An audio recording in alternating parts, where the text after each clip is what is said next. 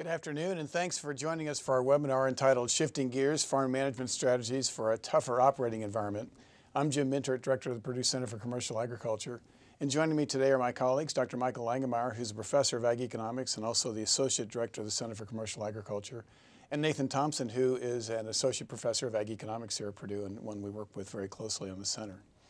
So we've shifted gears just a little bit with respect to the topic for today, and instead of focusing so much on the shorter run outlook, we thought at the end of the year it would be a good idea to focus a little more on some longer term factors that might influence how you choose to manage your farming operation in 2023, particularly in light of the fact that we think the operating environment is really starting to change and maybe requires some different strategies going forward. So Michael, you took a look at real U.S. net farm income, and you know, as I look at that chart, especially these last two years, it looks pretty darn good. It really does, and, and we've been talking about this for uh, several webinars in a row, that 21 and 22 are very good, and this just puts it in perspective. Those are two of the better years we've seen since 1973. Uh, but what we're going to try to uh, try to argue here today is 23 is not going to be near as good as 21 and 22, and so that's what that's what we mean by it's a different environment. Yeah, the strategies that worked the last couple of years are not likely to be uh, nearly as effective as they were the last two years. And so before we get to net returns, let's talk a little bit about interest rates. And what I've got here is the uh, the Fed funds rate. Uh, this is the overnight rate between uh, uh between banks that are part of the Federal Reserve uh, system. And, and what we're showing here is 22 looks relatively small, but it's been increasing all year. It started out the year in 22 at almost zero. I think it was 0.08 uh, starting out in 22.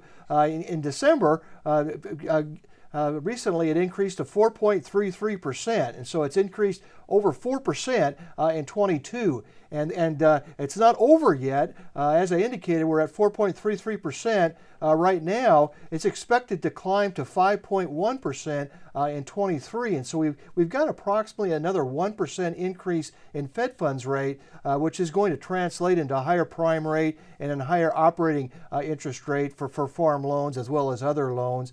And it's going to be fairly it's going to persist for a while. And so if you're expecting to get back to the environment we had uh, from 16 to 21, you're going to be disappointed. Uh, you know, looking at 2024 in this chart, uh, the Fed fund rate at 4.1%, still relatively high. 3.1% uh, in 25. I don't have it on this chart. Past 25, they're expecting the fund, Fed fund rate to be 2.5. And so, the, and so the point here, it's going to increase. It's going to be relatively high in 23, and, and it's going to persist for a while. It's going to stay uh, relatively high compared to where we've been the last several years uh, for the extended future. So, Michael, I want to point out, I think, for our viewers, that the projections you have on the right in red, that 5.1 for 23, the 4.1 for 24, and the 3.1 for 25, those are the averages coming off the Federal Reserve uh, yes. forecast by the Board of Governors, essentially, yes. right? The Open Market Committee. And they've been adjusting those every single meeting. Yes. So those aren't exactly set in concrete. No, the, the, the 23 number, for example, the 23 projection uh, was increased a half a percentage point uh, this last meeting. And so it, could go higher. It depends on it depends on how effective they are in controlling inflation. If they have difficulty in controlling inflation, that 5.1 will, will be higher than 5.1. Yeah, and I think the critical factor there is what happens in 24 and 25 because as you think about it, there's a lot of people in the marketplace that are pretty skeptical about the ability to pull inflation down that rapidly that would allow the Fed to revert to a, a looser or an easier monetary policy that quickly, right? Yes. And so that 3.1 could be north of 3.1. So good good point. Yeah, I think the other way to look at it is to say that 5.1 might just persist for a couple of years. And when you think about it from a management strategy, I think that's one of the things you want to think about in terms yeah. of your capital assets uh, and your, your operating environment in terms of how much money you're borrowing and what it might cost, right? Definitely. Now, to put a little bit of perspective on, on the relationship between the Fed funds rate, that's an overnight rate again, and the prime rate and the Federal Reserve Bank Chicago operating interest rate, uh, uh, I've got this chart right here, and we've got this from 16 to 22. Let's focus on the 22 numbers right here. Uh, you can see if you look at the Fed funds rate uh, compared to the prime rate, you're usually looking at about a, a 4% difference. Uh, it, um, the, uh, the prime rate right now is, is actually 7.5 and, and the uh, Fed funds rate is 4.33, so it's about 3% difference right now. But, but that sometimes is, is anywhere from 3 to 4%. uh, when you look at the relationship between the prime interest rate and the operating interest rate, uh, you're looking at something uh, that's usually 1.5%. I think historically, uh, the average difference between those two is, is 1.6%. And so when you start looking at that 5.1 uh, Fed funds rate, that really translates into an operating interest rate that's 9.5%, 10%. Uh, and so that's a little bit sobering. We haven't seen 10% uh, operating interest rate for quite some time, but that's what that 5.1 uh, projected Fed funds rate really means uh, as we're looking at, at, at, an operating interest rate that's, that's 9.5 to 10%. Yeah, I think that's kind of a shocker for a lot of people, and particularly as we start uh, re upping operating notes for the upcoming year. The rates being uh, proposed are substantially different than what were proposed this time last year. And again, thinking about what might happen in 24 and 25, it's not set in stone that we're going to see those rates start to come down that rapidly. So I think from a management perspective, it's important to think about what might happen if those that federal funds rate actually persist in that five to five and a half percent range um, and what that implies for, for and, your farming and, operation. And obviously, this has impacts on, on, on asset purchases, uh, buying land, buying machinery, uh, you know, build, building grain bins and borrowing part of the money to, to do that, but also storage. We're going to talk about storage options here, and uh, I know you did some exercises in your class, Jim, where you looked at the impact of higher interest rates on storage. It really does make a difference. Yeah, particularly on a, on a high-priced uh, crop like soybeans. If you change your assumption about the interest rate from, say, 4.5%, which is something that would have been pretty realistic here until just recently, and all of a sudden start looking at an interest rate, an operating loan rate of about 9 or 9.5%, it makes a big difference on the cost of storage. And you've looked at that as well, Nathan. Yeah. Just one more slide on this. This is through the third quarter of, of 2022, and so uh, at this time we had a prime rate of five and a half. It's now two percent higher than that. Uh, and so and so and so again, uh, it's just this is the actual data. Uh, but as you can see here, we have not seen interest rates this high uh, since 2007. So it's been quite a while uh, since we've seen interest rates this high. Yeah. So if you had to guess today, Michael, thinking about what that average is going to be for the fourth quarter in 2022 instead of 6.5, what do you think? Uh, 6.5, I think it's going to be closer to to eight. Yeah already Seven, start eight. already starting to have a big and impact. then another uh, one to two percent, depending on what the Fed does uh, in 23. Okay. So we've made the case that obviously, and I, as a lot of our viewers already knew, interest rates have been rising, and so that that has been very much in the news. Let's take a look at some of the other input costs, and this is based on some data that USDA publishes uh, biweekly. Uh, for the state of Illinois. It's called the Illinois Production Cost Report, where they report on prices for various fertilizers as well as diesel fuel. And I, what I did is I took the data going back to 2014 and kind of assumed that that 2014 to 2016 timeframe was kind of a normal period. And I indexed everything relative to that 2014 to 2016 uh, period. So stated another way, if you average the index values on that chart from 2014 to 2016, they're going to average out to 100. Values above 100 are when inputs are more expensive than they were during that environment, and inputs cheaper than that would have been below 100. So you look at the right-hand side of the chart and you see the dramatic increase we've seen across the board with respect to fertilizers, uh, anhydrous doubling, uh, potash virtually doubling, um, MAP done not quite doubling, I think 1, 1.75. So uh, diesel uh, actually starting to come down a little bit uh, in that report. So this, this report is pretty recent. There's data on there just through last week. So it is picking up some of that weakness we've seen in diesel and fuel prices here these last few weeks but still very, very high cost. So higher interest rates, higher input cost. Um, what's happened to prices? This is based on the monthly average prices. So these are cash prices reported on, on surveys from farmers uh, and elevators uh, over the last, uh, going back again to 2014 to 2016 as, a, as an average period. Notice that they are stronger, but when you compare the index values for soybeans and corn, to what I just showed you with respect to cost and what Michael was showing you with respect to interest rates, you can see that the improvement in crop prices has not kept pace uh, with what's taken place on the cost side.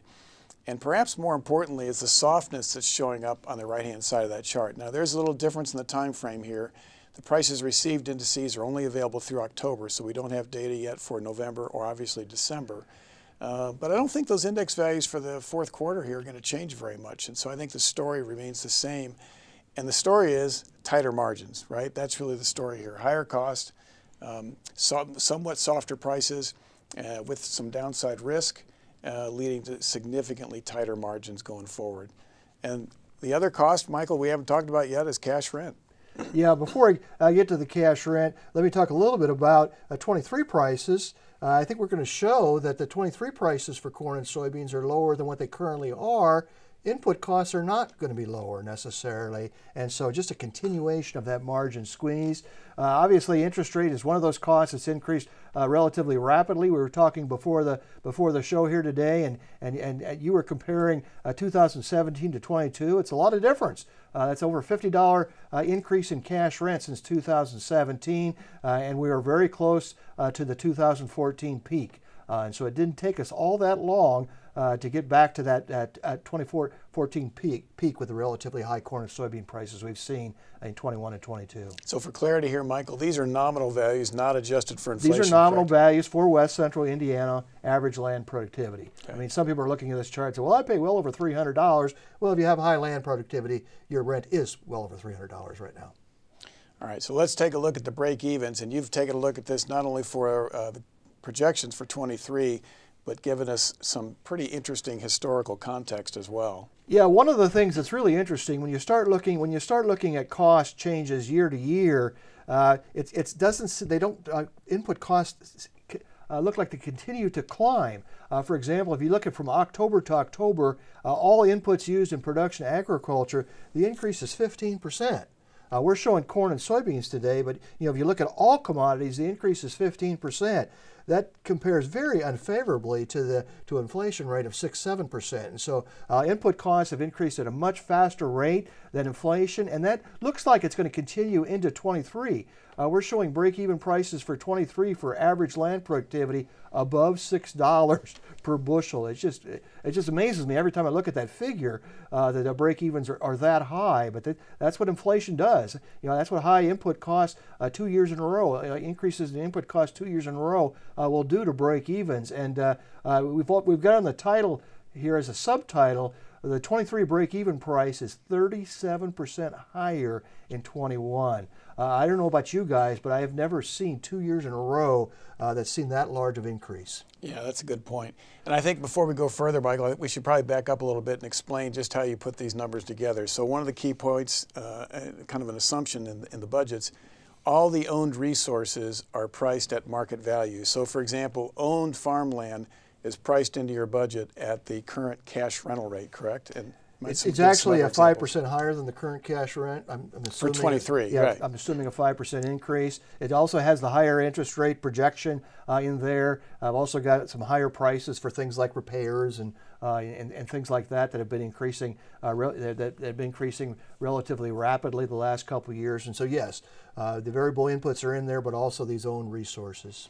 Th- from a viewer standpoint, I think from people maybe comparison making comparisons to their own accounting records versus what you're projecting here, that's going to be the big difference. The fact that those owned resources and from an accounting record perspective are not going to show up in there. Yeah, definitely. And those are those are large. I mean, if you own ground and you use, you're talking about $300 cash rent, that's a lot. That's a lot of difference. But it's also operator labor. I mean, we got operator labor in here at forty dollars uh, per acre, so that's that's not in your cash records. And then also own machinery. Uh, quite a few people own a, a, majority of their machinery. Well, here we've priced all of that in. We've got a charge uh, for the own machinery. Uh, just a little tidbit here that I, I find very interesting. It's a little depressing, uh, but I'm going to go ahead and say it anyway. When we look at the break even to cover variable costs, it's four dollars. Uh, that compares to the 21 break even a high productivity for all costs was $4. That just tells us how much these variable inputs have went up in two years. It's not just fertilizer. Fertilizer is a big part of that, but it's not just fertilizer. Yeah, that's a good point.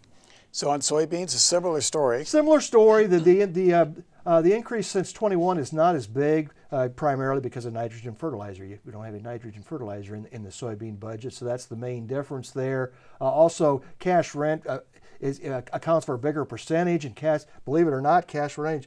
cash rent increases are not as big as some of the other inputs. Usually, cash rent is the one that increases the fastest. Uh, and, you know, and, so that's not the case right now. Fertilizer uh, in, increasing faster. So about a 25% increase since 21, uh, and another 8 to 9% uh, when you look at 23 compared to 22.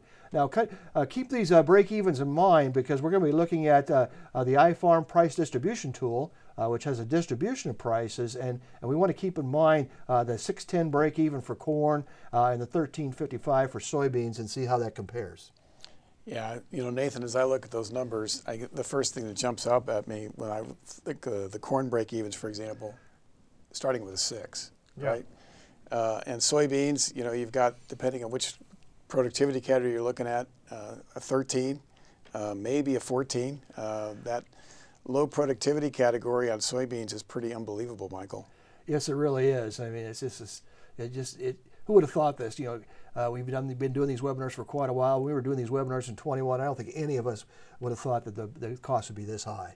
So dramatic change there. So we've made a case for a different operating environment with respect to cost of doing business, interest rates higher, inputs higher, significantly higher break evens, uh, cash rent still continuing to rise, at least we think in, into 2020, excuse me, 2023.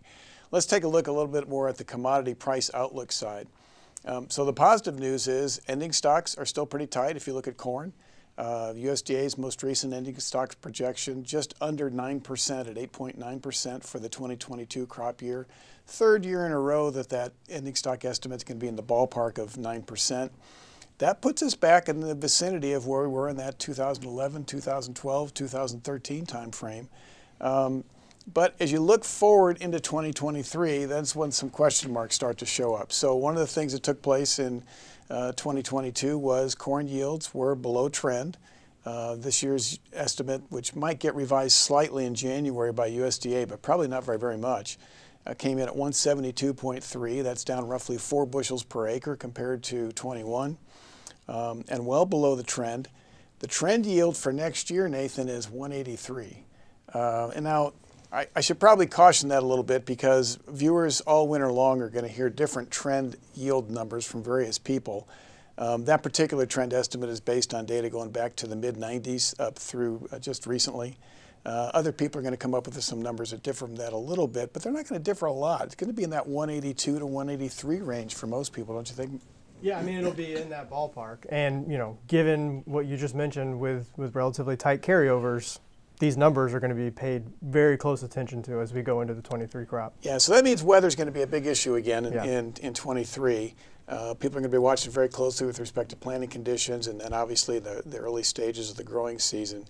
But if we see a return to trend, that does suggest those uh, ending stocks numbers starting to loosen up.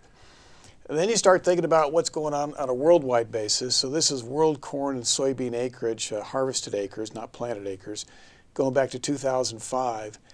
And it's a little bit astounding to me to think about how much the worldwide acreage to corn and soybeans has increased over the last roughly 17 years now. Less than 600 million acres uh, in 2005. Now we're up in the 833 million acre range. And then I think the other thing is to think about those year by year increases and think about what might happen to corn and soybean acreage. Uh, even though we're talking about some tighter margins going forward, um, odds are pretty good. We're going to see some increase in acreage in 23 show up. And the annual average increase over the last decade has been about 11 million acres. That doesn't mean it's necessarily going to increase by 11 million acres next year, but it does just give you an indication of the likelihood that we're going to see uh, acreage pick up somewhat. Again, that argues for loosening that supply demand balance that's been relatively tight now for these last couple of years. Um, the war in Ukraine did tighten world supplies in 22, but I have to say, not as much as we thought when the invasion first occurred in late February and, and early March, uh, when it looked like Ukraine had very uh, tremendous difficulty exporting anything. It turns out there has been more exported from Ukraine, both legally and perhaps illegally, based on some of the news reports.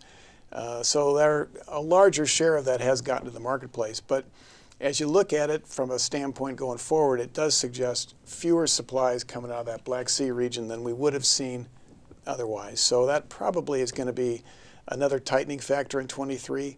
But again, it's a true wild card with respect to what might happen there, right? I mean, that's, that's going to be our challenge in terms of guessing what's going to happen. Um, if you think about the major competitors for corn exports relative to the U.S., those consist of, and I've listed them on the slide there, Argentina, Brazil, South Africa, which is ZAF, uh, Ukraine, and Russia. And as you look at it, you can see how the U.S. has been increasing exports, but from a trend line basis going back over the last 10 years. But notice the more rapid increase in exports from those competing exporters. And that gets back to the idea that we've got some stiff competition in, in the export channels that we didn't used to have, uh, at least not to the extent uh, that we do today. So again, uh, we're not quite the residual supplier that we used to be. Um, turning our attention on the soybean side, soybean stocks are actually tighter than they are on the corn side. Uh, USDA's latest estimate still hanging at that roughly 5% level from the 22 crop into the 23 crop year.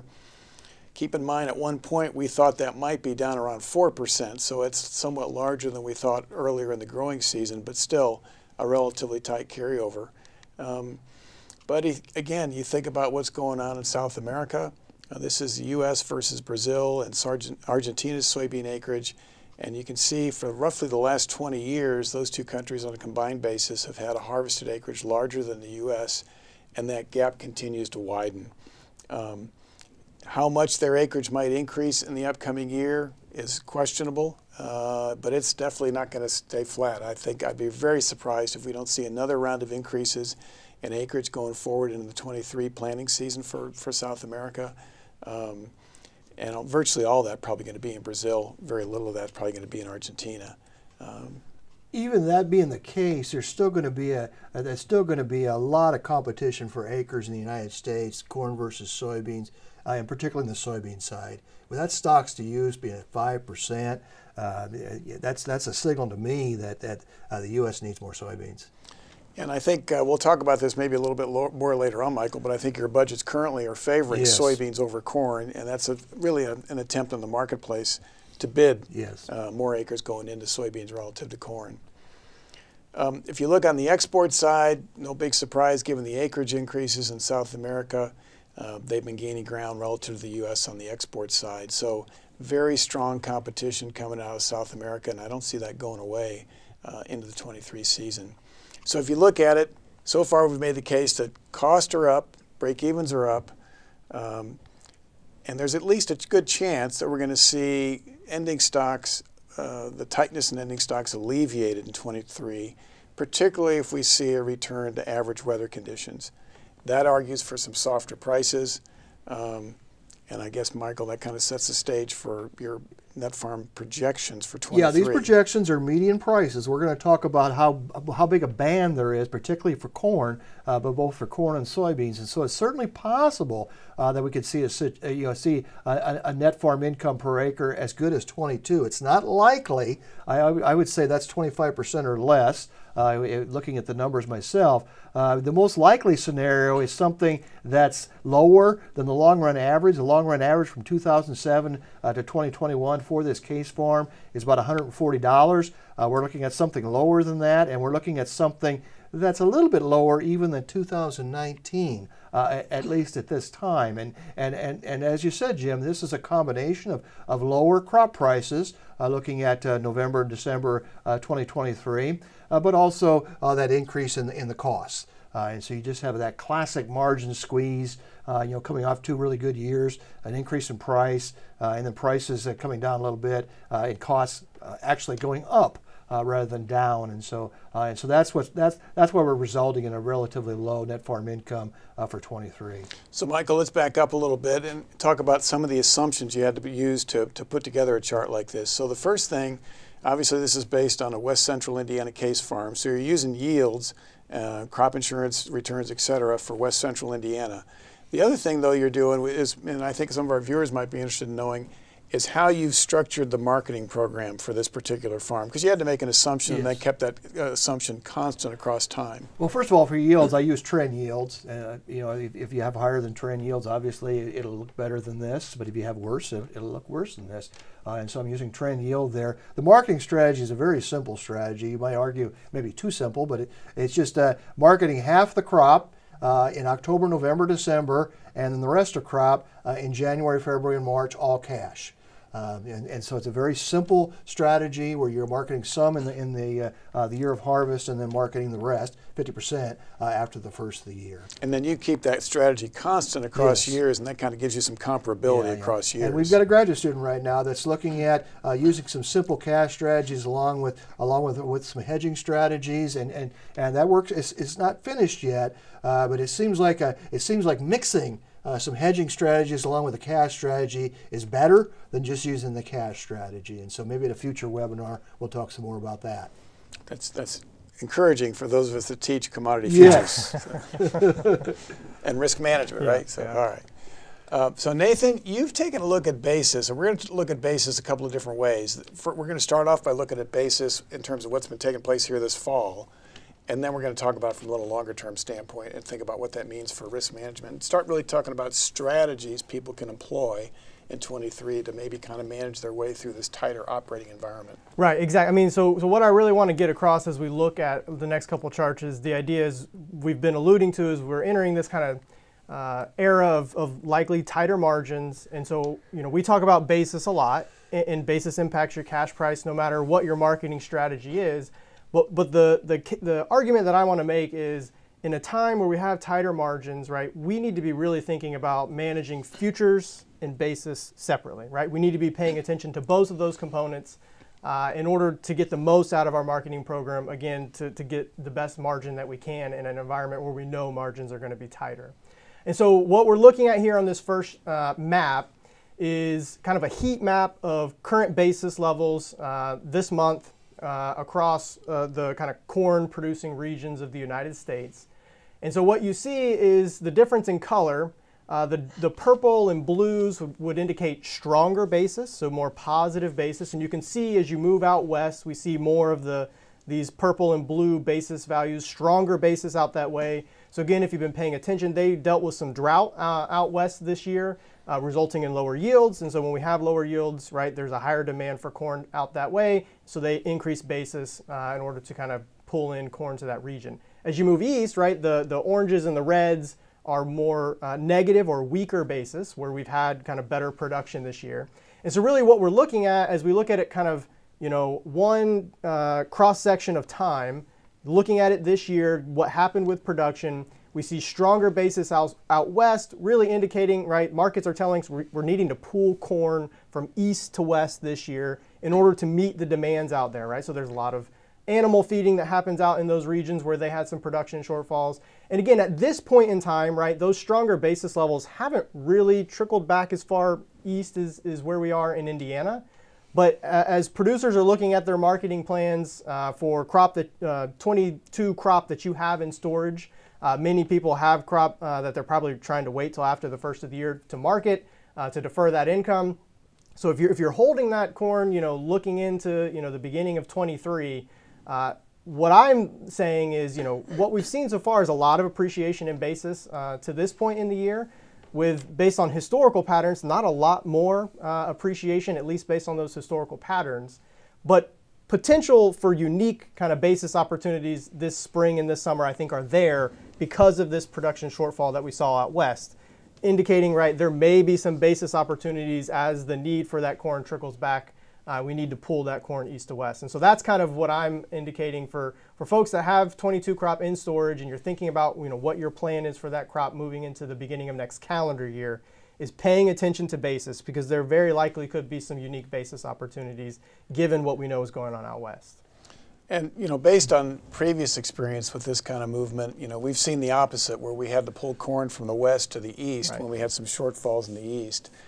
And historically, I think we tend to see the biggest basis plays, so to speak, in the areas that are short corn. Right. So I would probably expect more uh, unusual basis opportunities to pop up in the western half of the Corn Belt versus the eastern half. Do you agree with that? Yeah, 100%, right? And so the question is like how far does that trickle back until they're able to pull the corn that they need, right? So you really have to pay attention. And there's going to be some situations that are going to pop up and maybe last for a few days or a few weeks at most And so what we're really arguing is you need to pay attention, right? Yeah, absolutely, right. So I'm not, th- this isn't gonna, you know, I'm not expecting a huge shift in the pattern, so to speak, of average basis, you know, across a wide area. I'm thinking, you know, unique one-off, couple days here or there where we have something that needs to move.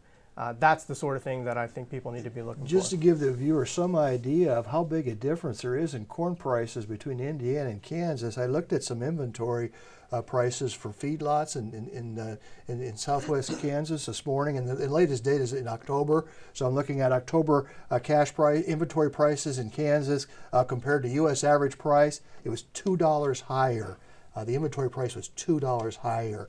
Uh, and so, and what all that all that means is the pan the panhandle of Texas and, and Southwest Kansas is, is usually short corn. They're always short corn. But now with a bad with a bad crop there, a bad crop further north where they're pulling corn from, it's a serious serious shortage of corn. Yeah, so it's really going to require some movement. So there's going to be some opportunities. We saw some of that this fall, even here in the Eastern Corn Belt in Indiana, for example. We saw some unusual basis swings, and some of them didn't last very long. Right. All right, so you've taken a look at corn basis at the southern Indiana river terminals and at the Indiana ethanol plants, and you've really looked at it going back to 2018 in one chart, which is kind of an interesting way to do it. Yeah, so I really wanted to give viewers a little bit different perspective of kind of how these basis values move and not looking at it maybe just for one individual year, but looking at, you know, four or so years and again, I picked two kind of representative locations, you know, one being river terminals, the other being ethanol plants.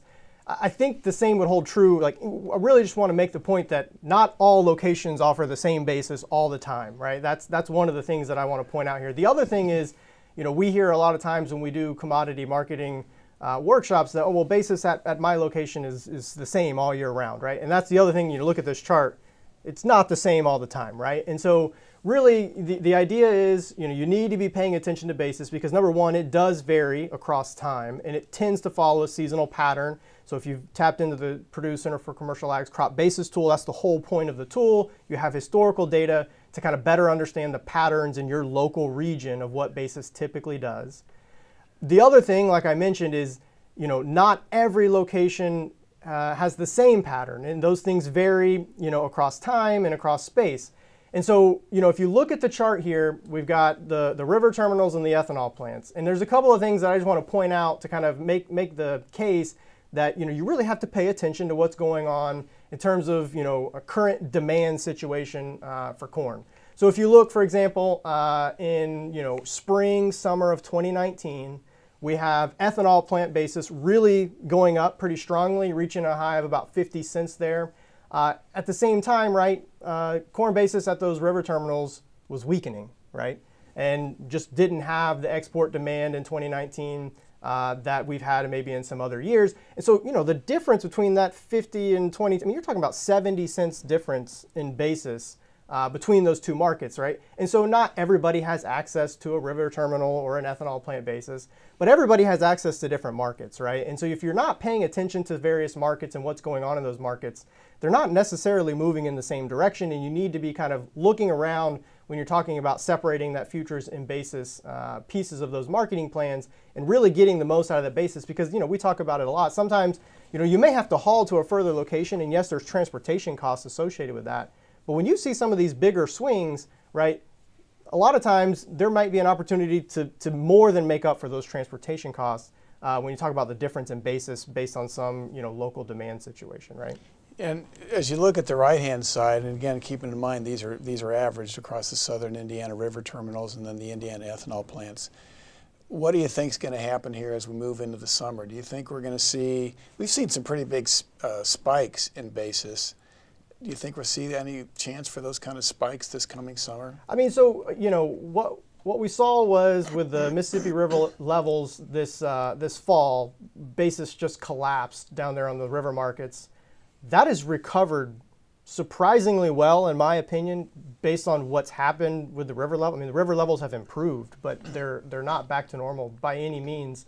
Uh, and so the question will be, you know, what is export demand for corn. Uh, you know, we've seen soft uh, export demand for corn so far uh, this crop marketing year. So that's going to be a big factor. But then also what happens with river levels, right? Do we get some moisture where it's easier and also cheaper uh, to move corn down the river because that's that's kind of in the play is you know not only has it been hard to navigate the river, but because of that, it's become much more expensive. Right, barge rates have uh, increased considerably uh, as a result of that. So not only is it harder to get it down the river, it's much more expensive to get it down the river. And so both of those things are going to be at play when we think about you know what corn basis, in particular corn basis uh, along those river markets, is going to do this summer. But there certainly are opportunities for that to increase. But again, you know we've all we've made up all of the collapse that we saw there in, in the beginning of October. And so we're really back to normal basis levels um, in, in southern Indiana. And so the question will be, you know, what can we see in terms of demand from those export markets? That's going to drive what happens with basis going forward. Yeah, good point. Soybeans, uh, you've, you've done similar analysis for soybeans. Yeah, so starting off again with this map of just kind of current basis levels across the, the kind of uh, commodity producing regions of the United States. A similar story here where you can see kind of the, the lighter blue basis values there in kind of southeast Kansas where they really were hit hard by drought impacting soybean yields uh, in, in that part of the country. Again, an incentive to maybe move some corn east to west there. Not necessarily as strong as what we saw on the corn side, uh, but still some evidence of that sort of need to move east to west. The other thing that I would point out on the soybean chart that's maybe a little bit different is you can see kind of along the Mississippi River there in the Mississippi Delta area, we see some blues and grays and purples, again, indicating those stronger basis levels. And I think that again comes back to this idea of number one, river levels being low, the need to pull in some soybeans right in those regions to fulfill um, export orders. But again, the stronger soybean export demand relative to corn export demand that we've seen uh, in recent months uh, is indicating that again on the soybean side, right, that river market is very important uh, in terms of pulling in soybeans and, and basis being the tool that they're using to do that. Yeah, if you look at the weekly export data for soybeans relative to corn, it's been much stronger, uh, and that's being reflected in these charts. So you're looking at the, the longer term uh, analysis on the soybean basis as well. So again, the, the, the, the objective here is the same. So number one, right, uh, the fact that basis is not constant all the time, right? So it does vary and, and you know varies a lot in, in some instances. Um, and also the fact that you know basis doesn't always move in the same direction at these different um, uh, end users, right? So again, I've got uh, river terminal basis uh, as the gold line, and then instead of uh, ethanol, I've got soybean processors, where again I'm just averaging the soybean processors uh, across the state of Indiana, giving us kind of this average basis level at those those processors. And again, what you see is that those two values maybe move in the same direction a lot of the time, but there are many instances where they diverge from one another. So again, a good example on this chart would be uh, summer of 21. We saw really, really strong processor returns, uh, soybean processor returns, and that had really big uh, impacts on soybean basis both in Illinois and in Indiana, uh, causing those basis values to really increase. And you can see right at that same time, we had, you know, um, soybean basis at those river terminals that was weakening, right? So again, a difference between positive 87 cents and a positive 16 cents. You know, you're easily looking at 70 cent difference there um, in in those basis values. That's those are big differences at the exact same time in in you know different locations, right? And so again, you've really got to pay attention. Uh, to what's going on in the markets that are around you. And again, it may not be a processor, you may not be on the river, but different markets have different demand for these crops at, at different points in time. And so just always hauling to the same location uh, is not the way to maximize kind of your, your marketing opportunities uh, that, that the market gives. So Nathan, the other thing that kind of jumps out at me when I look at both of these charts, it really shows up on the soybean chart. And you look at the right-hand side of your chart, especially 2022, it's the overall increase in variability in basis. And for those of us that you know teach commodity futures and try to teach people how to forecast basis, and you've done the research on this, I use your research when I teach class. Um, it's a lot easier to forecast the basis back at 18, 19, and 20 than it has been in 21 and 22. Uh, what's going to happen in 23? So when I made these charts, it really concerned me because I don't usually look at it, you know, this way. And so that was the first thing that popped off to me was the increased variability in basis, the, the volatility in basis that we've seen the last couple of years relative to you know the previous couple of years. And again, you could make a bigger chart and you might see some variability there. But again, looking at this, it, it is kind of interesting because again, you know, when we teach commodity marketing, a lot of times, you know, we suggest strategies like storage hedges where you eliminate futures risk and you speculate on basis because basis is more predictable, right? It's easier to forecast. I mean, these charts would suggest that that that that, that may not be as true as maybe it once was, right? And I think there's several factors that play into that. I mean, just think about the volatility we've seen in markets in general in the last two to three years. Uh, much more volatile in general. Uh, I also think, you know, as you talk about, well, what's going to happen in 23, you know, I think the fact that both corn and soybeans are in relatively tight carryover situations, that's going to make basis more volatile because when we need crop, we need crop. Basis is the tool that we're going to use to pull it in. And so that means there are a lot of opportunities for that to really spike. And again, not across the board, maybe in individual locations here and there. But again, I, I think that's probably to me the biggest factor is the fact that we have relatively tight carryovers. I would expect this level of volatility to, to continue. Uh, you know, I haven't lost all faith in, in, you know, basis forecasting, but, you know, you have to be really paying attention to it. And again, our research has, has talked, you know, we've, we've talked about this a lot. You know, forecasting basis between harvest and say, you know, March, I, I would continue to say that that's a, a, much easier thing to do. It's much more predictable those times of year, uh, th- those times of the year. But the research shows that as you move past the March timeframe into the late spring, early summer months, when we already have a lot of volatility in markets, switching from old crop to new crop, those summer months have always been very hard to predict, uh, very hard to forecast what basis is going to do. And so those are the places where I think people really, really need to be careful because we've always cautioned that as a time of year that uh, forecasting basis can be very difficult. So I'm inclined to agree with you. I think I think the tight carryovers really probably does explain a lot of this, and to some extent, not only the tight carryovers, which we measure at an aggregate national level, but the fact that you've got differential carryovers as you move around the country, I think, has contributed to this idea that we've had spot shortages, which give you those spikes. Yeah. And once the sp- spot shortage is alleviated, you see the basis drop back down right, right. pretty pretty sharply. So I think we're probably in for some more basis volatility for at least a few more months. Um, but it has been markedly different than what we were used to back in 2019, 2020. So again, this chart kind of refers back to the research that you've done and you've updated mm-hmm. with respect to the seasonality of new crop futures prices. And the idea here is to think about strategies now. So the first thing we talked about was the fact take advantage of basis opportunities, right? If you're if you're not separating your pricing decisions between futures and, and basis, you're giving up an opportunity to make some money. In a tighter margin, margin environment, that's difficult to, to, to walk away from that. Right. And then the second thing is to think about okay, if you're going to use futures, is there anything we've got that would help you identify appropriate times or better times to, to market, right? Right. So, again, this is based on some research that I did with a graduate student several years ago. And the, whole idea was, you know, if we're thinking about encouraging producers to do some pre-harvest marketing, like what what are we basing that on, right? And so this is just a seasonal index of corn and uh, new crop corn and soybean uh, futures prices. And so the way this works is we're looking at the November and December uh, corn and soybean futures contracts, and we're starting in the January prior to the expiration of those, right? So we'd be like looking at January 23 for the December or November 23 corn or soybean futures contract. So this is pre-harvest, what those new crop futures contracts are doing. And again, they're indexed to zero for the first week of January. Similar to what you mentioned earlier with your indexes, the same idea. Anytime that that uh, index value is above 100, uh, that would indicate that the price is higher than what it was the first week of January. Lower than 100, then that would mean it would be lower than what it was that first week in January. And so again, these patterns here are, uh, I've updated these, but the patterns are very consistent across time.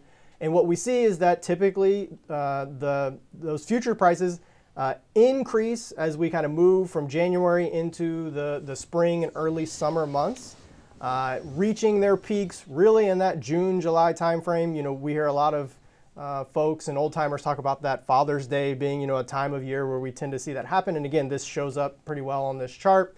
And so the whole idea is, you know, if you're thinking about doing some pre-harvest marketing, uh, you really need to be thinking about that time of year as a time of year when you're looking to make some decisions on making sales. We would typically see, you know, again, as we're shifting from old crop to new crop, We've got new crop planting conditions, early season weather conditions. All of those factors uh, result in kind of this potential for futures price rallies, and that's what drives those peaks in the seasonal patterns on those charts. After that, we tend to see, again, this is just average, but we tend to see those prices revert towards kind of harvest lows. And so, really, as you're thinking about, you know, 23 or even, you know, future years, this this chart kind of gives you a, a, time frame. It's not, you know, one week. I, I, you know, I would never say, you know, pick the highest point and you, that's the only time you'd make a sale. But you know, in that May, June, July timeframe, that's the time of year when, when I'm really encouraging people to be at least paying very close attention. Uh, and if you're wanting to do some pre-harvest marketing, uh, that would be a time of year making some sales on average historically makes a lot of sense. And I agree with that. I think the one thing I want to caution our viewers is to think about whether or not 23 might be a repeat of 22. Yeah. And when you think about what happened in 22, those seasonal tendencies that you've identified here were kind of exacerbated yep by the fact that we were having some difficult weather conditions in South America. No guarantee that that's going to show up again this year. In fact, the early data would suggest they're actually having some reasonably good weather down there. So we might not see the strength in the spring that we saw in 2022. And so don't get fooled thinking about this chart relative to what happened in 22 and think this means we're going to see a repeat, right? Absolutely. I mean, th- that's, that's the danger here is, again, this is a useful tool for thinking about historical patterns but historical patterns are averages over time. I mean, again, we're looking at 32 years of data here. There's a lot of, you know, if you made the same decision over and over every year, this is the sort of kind of premium that you would expect to see. But any individual year, you know, all bets are off. You really have to be paying attention to what's actually going on and what the market is telling us in terms of, you know, uh, what what supply and demand and what what markets are telling us. And so, uh, this is not like a close your eyes and just do this, you know, sort of strategy. This is just hey, pay very close attention uh, during this time of year because this tends to be a time of year where we see some opportunities. So you've also taken a look at the price distribution tool that the University of Illinois farmdoc team has put together and that we like to use quite often. This one's for corn. I'm going to let you walk your way through that a little bit. Yeah, so I'm going to start off with the the um, numbers at the bottom of the chart here as kind of a baseline, right? And so again, if let's think back, really the, the goal here is to compare to Michael's break evens using what the market is currently giving us in terms of a price and, and what the potential kind of range of those prices are. So if you start at the bottom, this morning we had uh, December 23 corn futures around 595. I went into the crop basis tool for central Indiana. I pulled out uh, an expected basis uh, for fall delivery of 25 cents under that futures price. That puts us at a cash price of $5.70. Okay, so based on current futures prices, that's kind of you know a, baseline or a really kind of average place to start of where we expect that to be.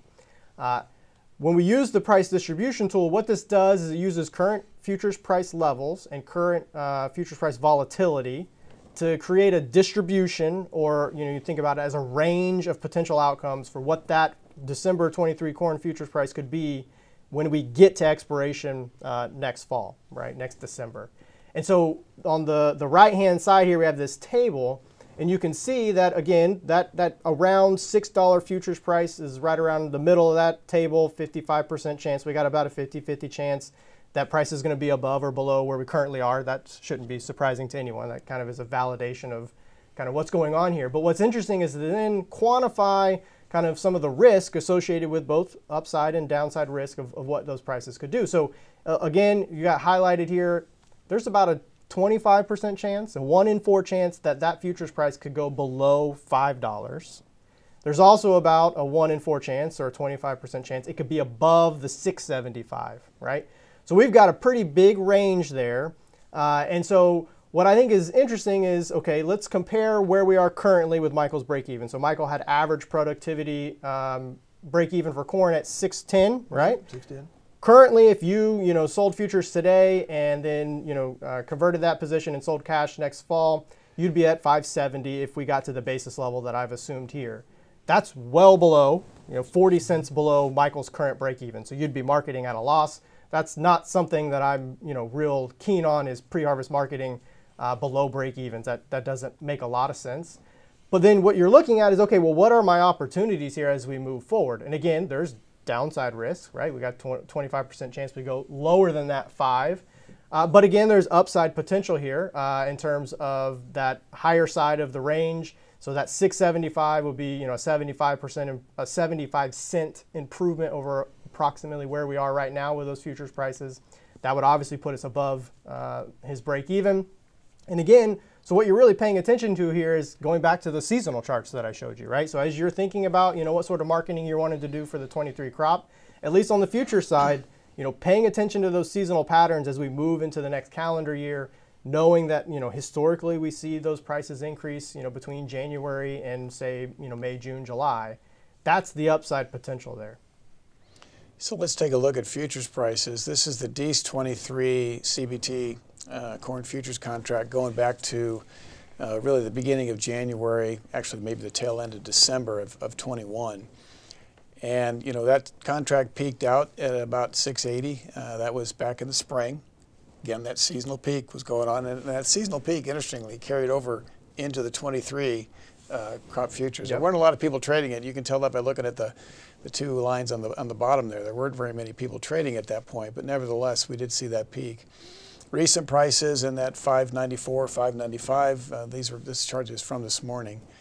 So as you think about it, you know, what would give us some, some reasons to see a rally? And I guess a couple of things come to mind. One would be um, some improvement in the exports, which we have not seen yet, but if that does happen, that would be one positive to take place. Uh, the other one would be obviously what takes place with respect to crop development in South America.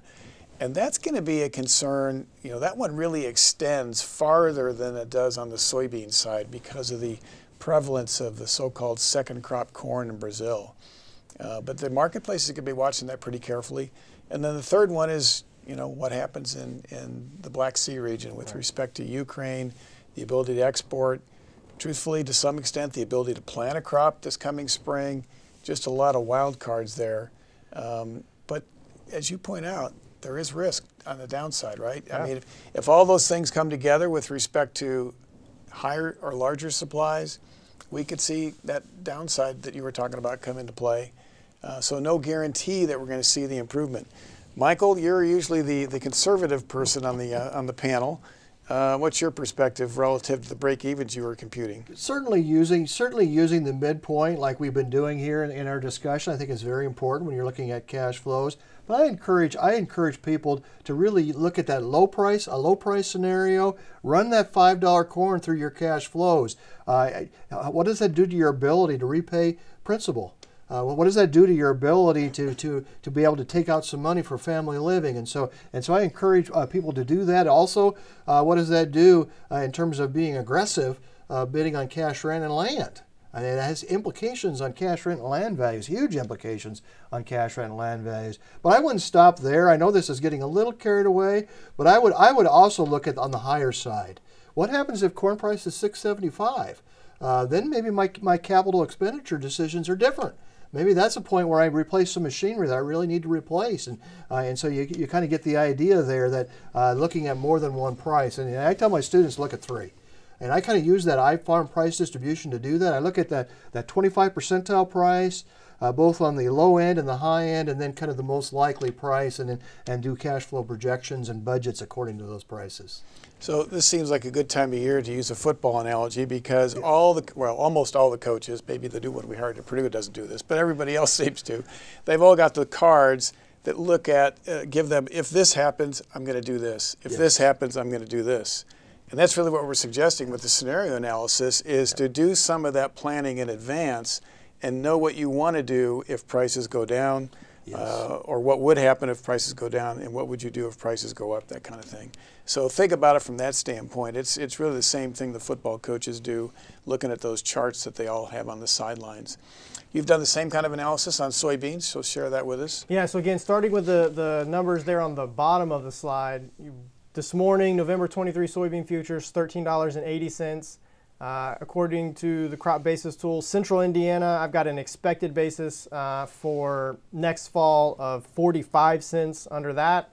That puts us at an expected cash price for delivery next fall of 13.35.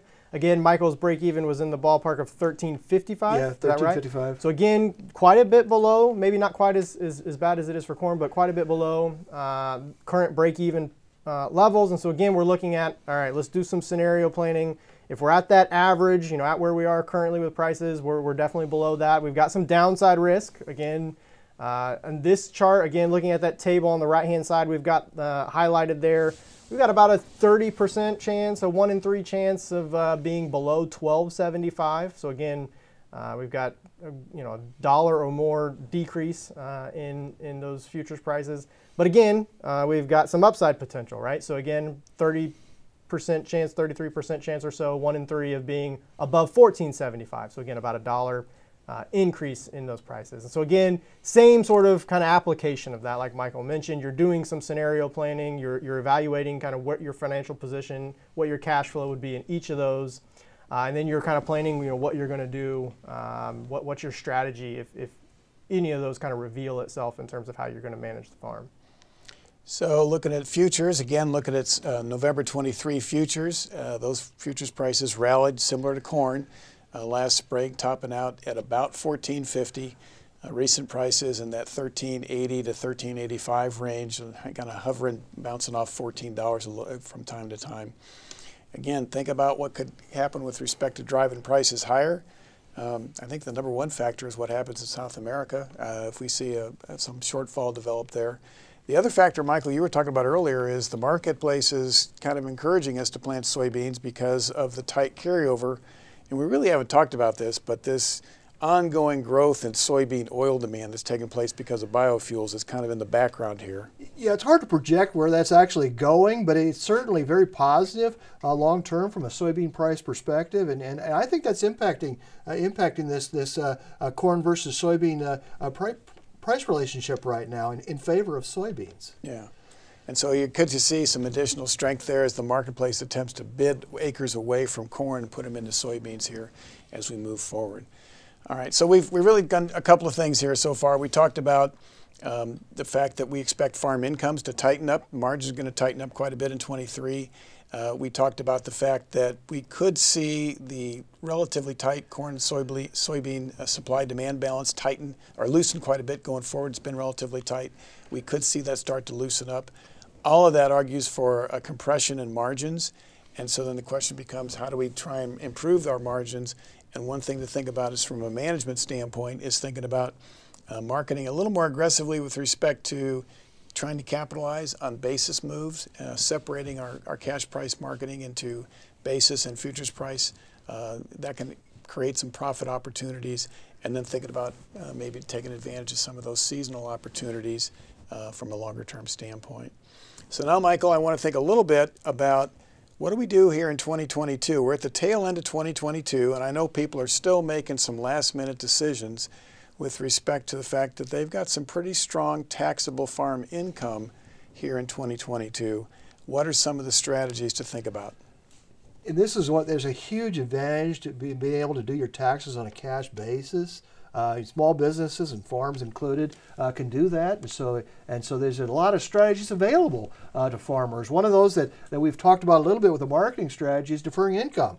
Uh, you can divert some of those sales into 23, knowing, you know, thinking that 23 is not going to be as good a year as 22, and so that's that option certainly available. Prepaying expenses. This is something farmers are very familiar with uh, trying to buy some of the inputs they're going to use in 23, uh, still in 22. Some of the smaller items, they don't, they don't necessarily amount to quite as much as deferring income and prepaying expenses, but it's something you should be thinking about on a year-to-year basis, retirement plan contributions.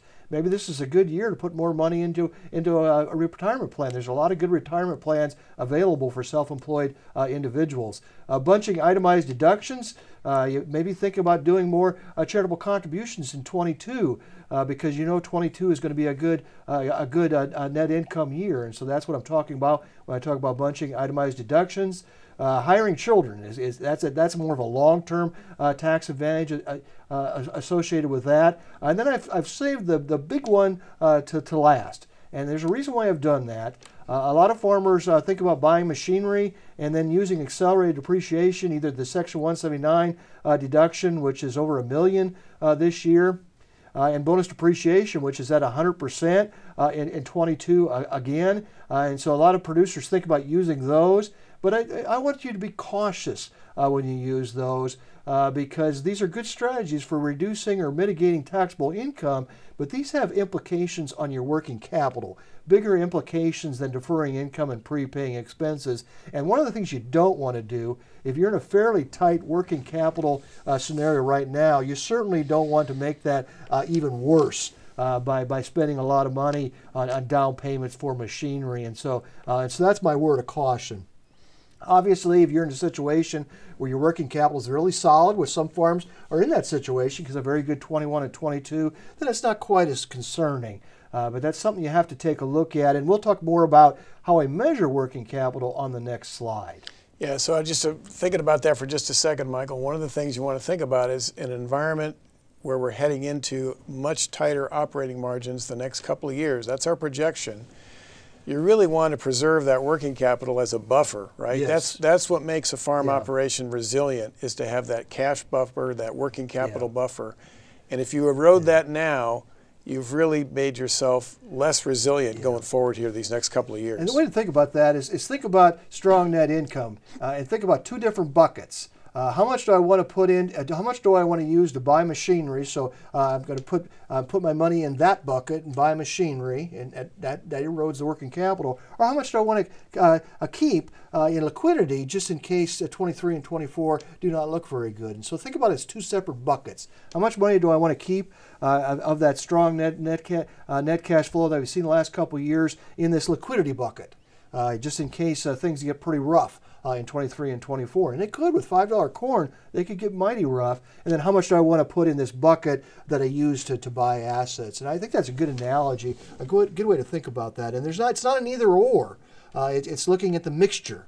You know, how much money do I want in each of those buckets? Yeah, good point. All right, let's talk a little bit more about replacement margin and, working capital. Make sure everybody's on the same page we are. What we're trying to do with this replacement margin, this is used quite a bit by lenders, but I'm trying to get more farms to, to, to also use this ratio. Uh, we've got some publications on the Center for Commercial Agriculture website that talks about this in more detail, but it's really a, a fairly simple concept. We're saying, is there enough uh, cash flow, net income available to cover owner withdrawals, uh, that you know our, our, typical owner withdrawal for our operators, principal and term debt. We want to be able to cover those things, obviously, and then also is there money available uh, for capital replacement? And specifically, when we talk about capital replacement, we're talking about spending the depreciation.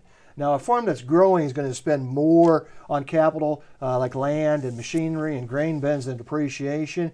Uh, but over a long period of time, we need to be able to replace the machinery that's depreciating out. That's why it's included in the replacement margin. So that's what we're looking at. Is that positive?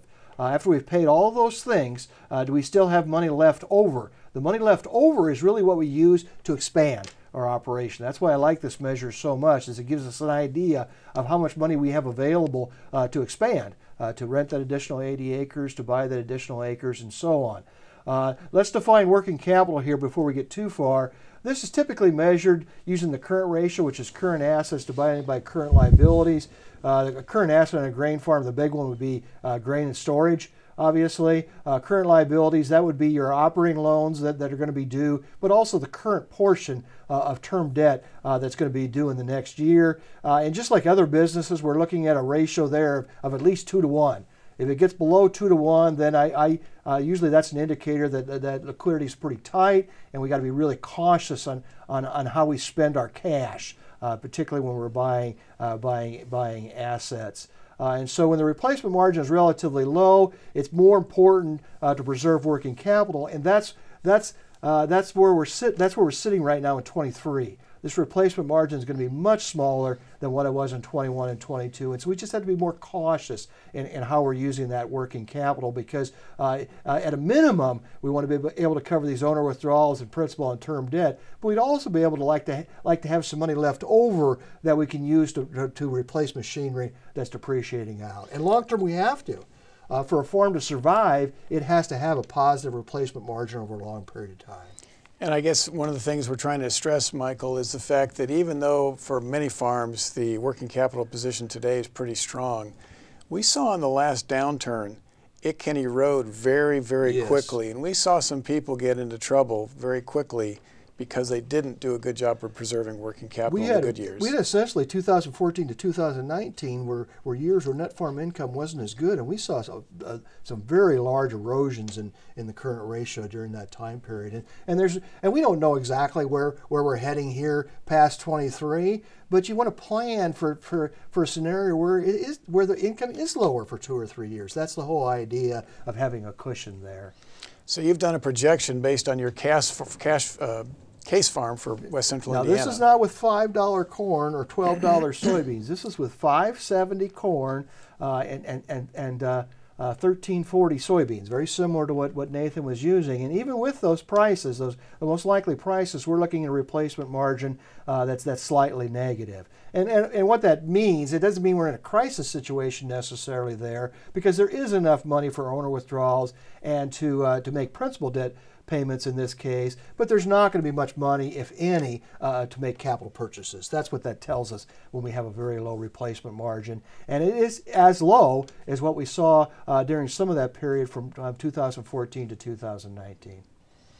So let's uh, wrap it up with the discussion about the asset that people are probably really interested in, and that's what's going on with farmland values. And I think uh, probably all of our viewers are familiar with what's been taking place throughout 2023, it seems like every farmland auction we hear about is either at a new record high or at least uh, very close to a new record high. Um, and we've got prices based on the Purdue Land Value Survey, which was done last summer, going back to 2007 on the chart. And you know the value for 2022 was $10,914. That was for average land productivity here in West Central Indiana up from 93.82 in 2021 and up from 81.21 just in 2020. So we've seen some big increases in land values these last couple of years. And I'm going to put our panel on the spot here. Uh, with interest rates going up, I think we all know what the capital asset model would suggest. With this rise in interest rates and tightening of margins, it would suggest that we're going to see something happen with respect to land values. Michael, what do you think is going to happen? At a minimum, the land, I think the land values are going to have to stabilize. I mean, you look at this chart, it's just truly amazing. From 2007 to 2014, we saw a 140% increase in land values. That's much larger than cash rent, by the way. And so we all these there were low interest rates was a big factor uh, in making land values increase higher than cash rent. Also, also if you look at uh, look at from 14 uh, you know, 14 to, to 2022, yes, land values went down, but then they started going up very rapidly again. Again, that was during a low interest rate environment. And so I, I can't overemphasize uh, that, that, we're in a different interest rate environment uh, moving into 23. That's certainly going to put, uh, you know, put a cap, if you will, uh, on, on how much land values can increase going forward. And, and I think I think maybe stable, stable, more, more of a stable land value in, in 23, and then 24 is really going to depend on what net farm income does. You know, net farm income tanks, uh, it, it, worse than we think it's going to be in 23, and it, it, stays low in 24. We're seeing some downward pressure on land values, and and one of the things in 21 and 22, I want to talk a little bit about that. If you look at the factors impacting land values, they were all positive strong cash flow, low interest rates, strong demand outside of agriculture, high liquidity, uh, you know, favorable, at least uh, favorable farm, farm policy, at least wasn't unfavorable, uh, you know, farm policy. And so everything was going in the direction of an increase in land values. That's not the case today. We've got lower margins for 23. We've got much, much higher interest rates, and both of those impact um, you know, how outside investors look at land. Outside investors look at the fundamentals. The fundamentals are changing. The cash flow and the interest rate relationship is changing even for them. Uh, and so all of these things put together uh, really is, a, is an entirely different environment uh, than what we've seen the last few years. So that was the point, Nathan. Do you have a counterpoint? Uh, I agree mostly with what Michael said. Theoretically, like we have to see some stabilization. The the only kind of counterpoint that I would make is is kind of anecdotally what I hear is a lot of these purchases are being made with cash, right? And again, that that doesn't mean that uh, you know we shouldn't see some of the fundamentals come into play. But until people run out of cash and have to start borrowing money to buy all the land that's being purchased, you know, maybe we could see this continue, you know, but again, it has to start to, to stabilize or soften compared to what it's been the last several years. But that's the only other factor that I would throw in that I've, I've heard people talking about. Yeah, so I think uh, well, this is, puts us in the uncomfortable situation of all three of us essentially agreeing here. well, how often does the three economists actually agree? But um, as you look at it, the real question to me is the time frame. And how far into the future do you have to get before the rapid run up that we've seen here these last couple of years really comes to an end? And my best guess is uh, probably 2024. And I really kind of agree with what you said, Nathan, with respect to there is a lot of strong cash positions out there um, and they've chosen to invest in farmland because other investments haven't looked that attractive. And so, you know, we've been doing some survey work with the Ag Economy Barometer, and people tell us that uh, inflation and interest from non-farm investors is a, is a key mm-hmm. point. And I would argue that uh, both of those are related to the fact that um, the alternative investments don't look that good, right? Yeah. So, um, so we're probably going to continue to see some news about record high farmland values here the next few months, but as you think about it longer term, especially as you get into 2024, if the interest rate outlook we were talking about uh, materializes, it looks to us like we could see some softness in land values in 2024. There was also kind of a unique event in 21 is it was difficult to find machinery and machinery is expensive. I think that made uh, some of the cash flow gravitate towards land rather than machinery. I think farmers would have bought more machinery, built more grain bins if, if it wasn't been so difficult to do that. Uh, you know, to find the machinery when you know it, it, find the machinery at a reasonable price and grain bins for a while they were difficult to find somebody even come out and build the grain bin and so uh, and so I think that there's some unique circumstances in 21 uh, uh, uh, to explain the very large increase. That's a good point. So with that, we're going to wrap it up and just remind our viewers that we have the Purdue Top Farmer Conference coming up in January, on January 6th. That's the first Friday in January. Uh, you can attend the conference in person here in West Lafayette or remotely by way of Zoom. Uh, the details about the conference and registration are available at purdue.edu commercial ag, and I want to highlight that one of the sessions on that uh, panel is going to be, or that uh, conference is going to be, focused on farmland values uh, with Todd Kuethe, our uh, professor of uh, farmland share here, along with uh, uh, R.D. Schrader from Schrader Auctions and Howard Halderman from Halderman Auctions. So it should be a very, very interesting conference. I hope you'll check that out and, and look at it a little more carefully. And of course, we encourage you to subscribe to our uh, podcast, Purdue Commercial AgCast, and maybe take a look at the Ag Economy Barometer reports. That next one comes out, I think, on the 3rd of January. So be looking forward to that one as well. And with that, on behalf of my colleagues in the Center for Commercial Agriculture, I want to wish you a happy holidays and certainly a prosperous uh, new year in uh, 2023. Uh, on behalf of the Center for Commercial Agriculture, I'm Jim Mintert.